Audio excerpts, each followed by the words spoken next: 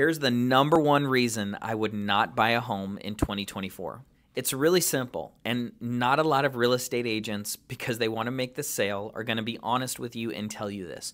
But here's what I would not do in 2024 if I was going to buy a home I would not purchase a home if my income was really unstable. I'm talking about very up and down.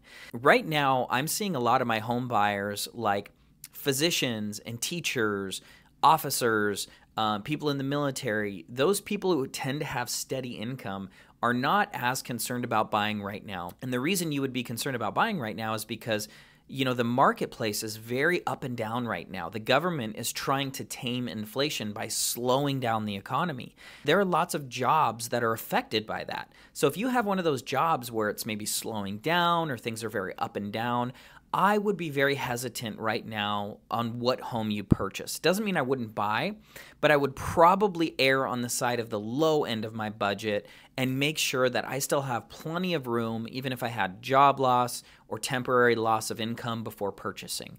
So that is the one reason I would not buy a home in 2024 is if I had very unstable income. Typically, we see this with business owners. Maybe you're in your first few years, you're in that infancy stage in your business.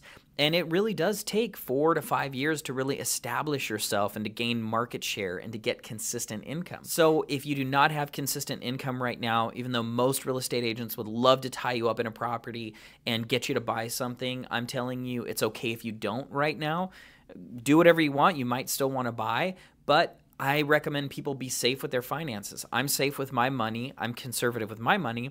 So I don't want to encourage people to make decisions that are going to put them in financial hardship. Hope this helps, and thanks for watching.